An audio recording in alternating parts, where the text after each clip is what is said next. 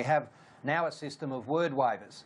And they say, what do you think about this? Invariably, it's not in any context. In fact, I got in trouble about the other day about encouraging people to have furniture. Why is it that we're, we're providing social housing to Aboriginal people in remote areas? They have no furniture, there's nowhere to buy furniture.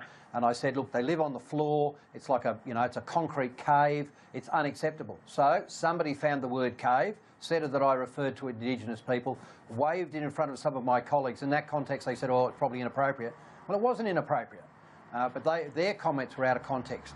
Look, I think the context of, uh, uh, you know, the, the, the Prime Minister's words are a matter for others.